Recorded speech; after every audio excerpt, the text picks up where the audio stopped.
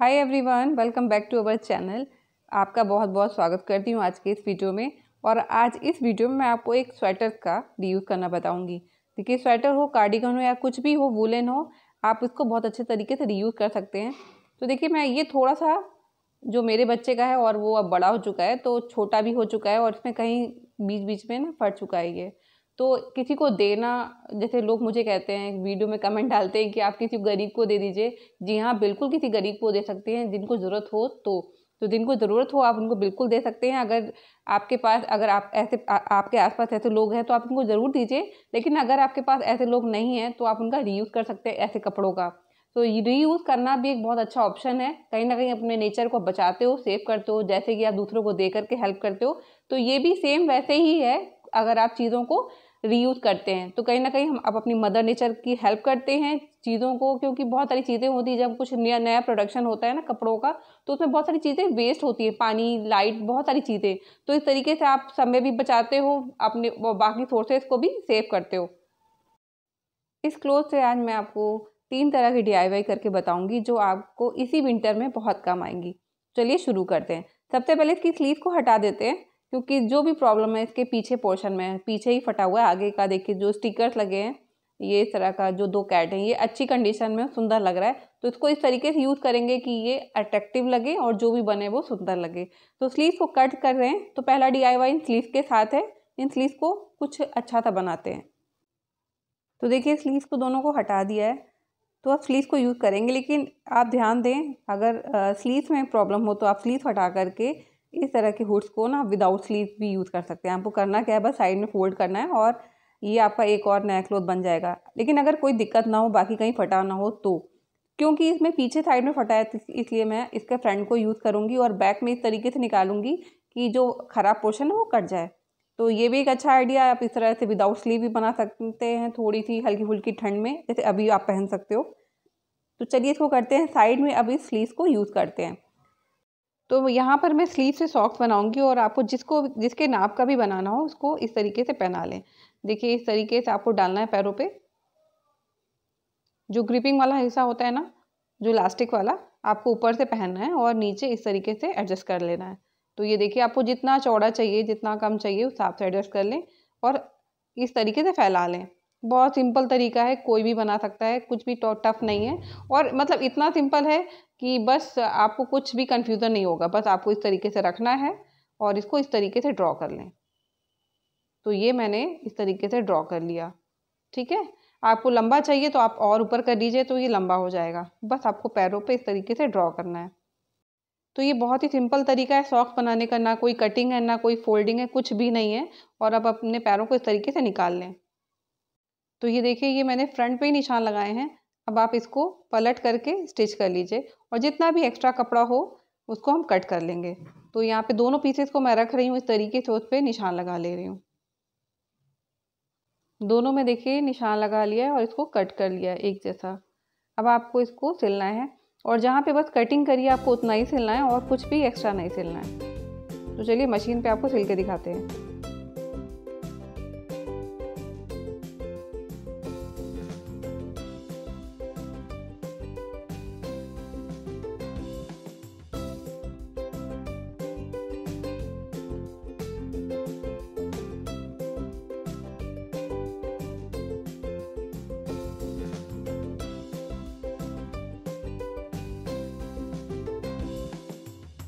तो ये देखिए, दोनों सॉक्स एक ही स्टेज में रेडी हो गए हैं।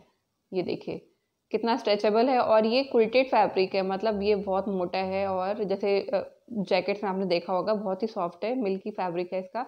तो अगर ऐसे कपड़े हों तो उसका सॉक ज़रूर ट्राई करिएगा, बहुत बहुत कंफर्टेबल रहता है।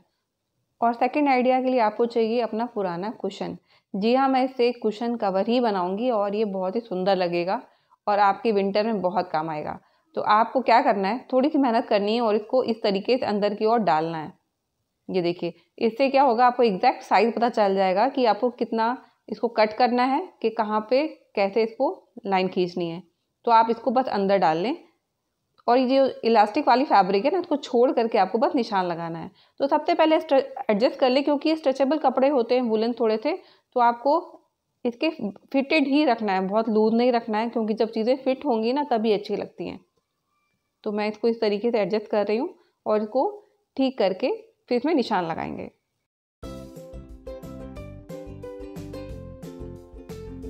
तो ये देखिए प्रॉपर पूरा आ रहा है, लेकिन ऊपर के साइड में ये आर्मोल वाला हिस्सा आ रहा है। तो क्योंकि ये चौड़ा है तो मैं यहाँ से इस तरीके से निशान लगाऊँगी उसको एकदम स्ट्रेट निशान लगा करके बाकी एक्स्ट्रा कपड़ा कट कर दूँगी।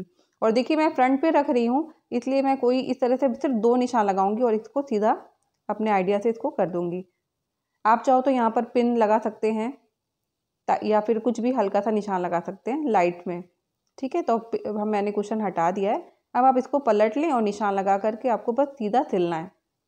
तीन तरफ़ सिलेंगे, बाकी एक साइड में इसमें चेन लगाएँगे। तो ये देखिए, इस तरीके से मैंने निशान लगा दिया है। अब इसको सीधा पूरा सिल लेंगे, बाद में इसकी कटिंग करेंगे।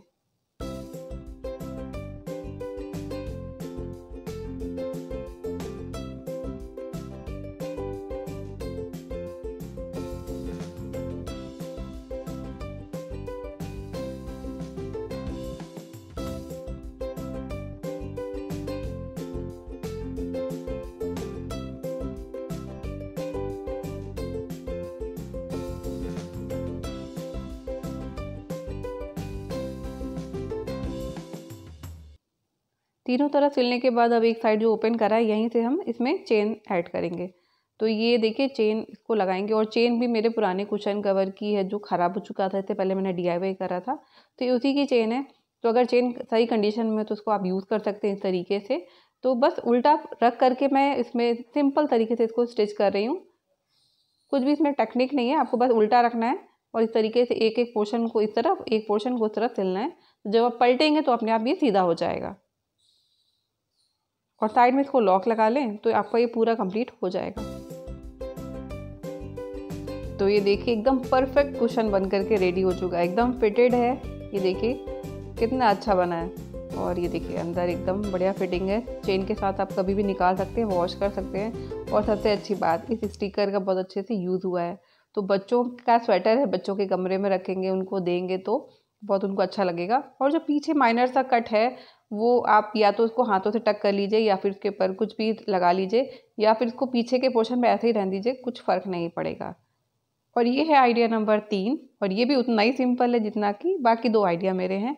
और इसको बस जो हुड है ना, इसको आप ओपन करके मतलब कट कर लें और इसको इस तरीके से फोल्ड करना है।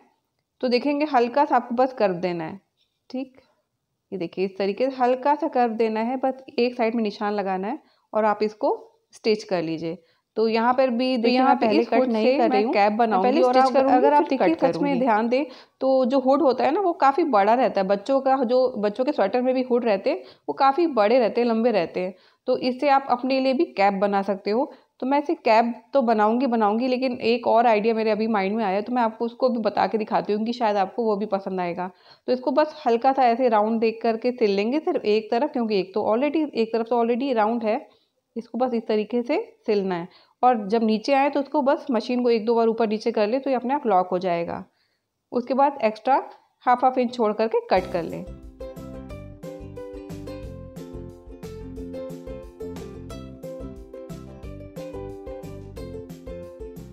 तो देखिए एक्स्ट्रा हमने कपड़ा कट कर लिया, इसको अब आप टर्न कर लें और इसको शेप दे दें इस तरीके से। तो ये पूरा कंप्लीट हो गया है। है ना? बहुत सिंपल अच्छा इस, इसको तो मैंने कैप बनाया है लेकिन अगर आप ध्यान दें तो इसको आप एक और तरीके से यूज़ कर सकते हो। विंटर्स में जब हम चाय पीते हैं ना तो इसमें आप अपनी केतली वगैरह रख सकते हो तो देखने में भी बहुत अट्रैक्टिव लगेगा सर्व करने में भी बहुत अच्छा लगेगा और उसमें हमारी चाय भी गर्म रहेगी। तो ये भी आप बहुत मज़ेदार है आपको ज़रूर ट्राई कर सकते हो। तो चलिए ये तो हमारी कैप है ही। आप इसको मैं तीनों चीज़ें आपको दिखाती हूँ कि कितना बढ़िया लग रहा है। तो इसको भी यूज़ कर सकते हो आप कैप के तरीके से भी यूज़ कर सकते हो। दोनों ही बहुत मज़ेदार हैं डी आई और आज के तीनों DIY बहुत ही सिंपल रखे मैंने। इतने सिंपल हैं कि इसको कोई भी बना लेगा, सिर्फ़ एक ही स्टिच करनी है आपको ये और ये रेडी हो जाएगा। तो अब इसको सही से यूज़ भी करके देखते हैं कि कैसा लगेगा।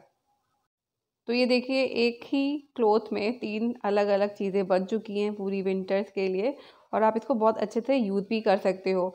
और जो इसका कुशन है, ये तो बहुत ही सुंदर बना है, बहुत बढ़िया लग रहा है। और कैप में देखिए, ये कैप में मैंने अंदर से इस तरह से फोल्ड करा है तो ये अलग उसका लुक हो गया है। अगर आप इसको ऐसे निकाल लेंगे तो भी ये अलग लुक हो जाएगा। तो दोनों तरीके से पहन सकते हो।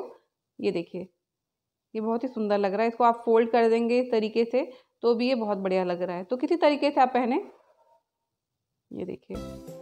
तो कैप देखिए, बनाना बहुत ही सिंपल है, इसको ज़रूर ट्राई करिएगा। और सबसे मज़ेदार डी तो ये है, जो बहुत ही प्यारा लग रहा है, और बच्चों को भी ये बहुत पसंद आया। तो ये है कुशन, आपको भी बहुत पसंद आएगा। सिंपल है, तीन स्टिच करने हैं, एक साइड में चेन लगानी है। तो अगर बच्चों के कपड़े हों तो उनका फेवरेट कपड़े को आप इस तरीके से कुशन भी बना सकते हो, उनके रूम में लगा सकते हो, उनको बहुत पसंद आएगा। तो ये था आज का वीडियो, जो बहुत ही सिंपल है और बहुत ही यूज़फुल है।